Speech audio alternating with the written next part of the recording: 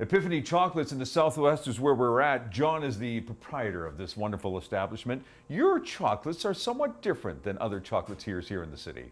Yeah, they are. Uh, the big difference with our chocolates, first of all, we use high quality French and Swiss chocolate. But the big difference is we have center ganaches and there is no butter. Sir, you have what?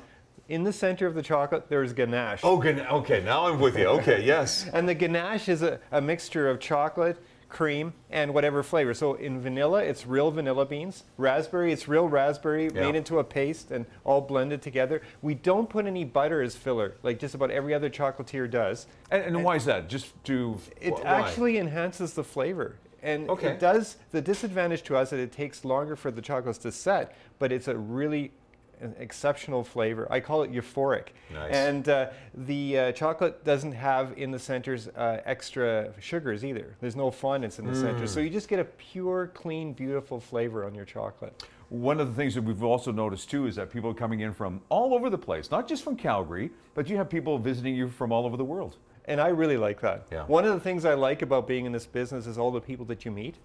Just a great time. Yeah.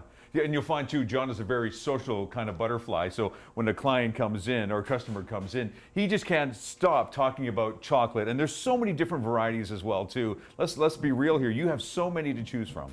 We really do. Uh, here we have bars that we bring in from other uh, chocolate makers, and uh, but as far as our own chocolates go, we have 34 different kinds. Wow. And we have things like balsamic vinegar, aged balsamic vinegar. No kidding. Beautiful. Yeah. Double smoked bacon. Wow. But we also have like raspberry and cherry, and we have vanilla. The vanilla is unbelievable. And we have nut flavors. Uh, we have uh, lemon verbena that we grow in our own garden at home. Yeah, yeah. So we have a great variety of flavors that people will just, uh, they just drool over it actually. And I don't mind about the drooling. More from Epiphanie Chocolates coming up at Yardworks Go Calgary on Shaw TV.